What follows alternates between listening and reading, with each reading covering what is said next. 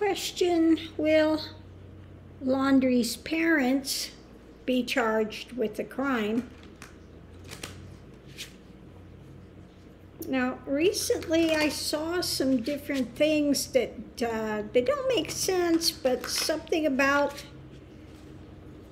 it's it's very hard to charge them with something like that. I just uh, I don't get it.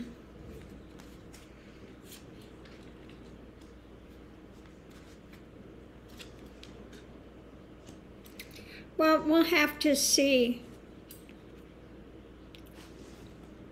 You know, they're they're not anteing up any information, that's for sure. They're holding you know, they're holding, and uh, what I get is uh, time will tell, okay?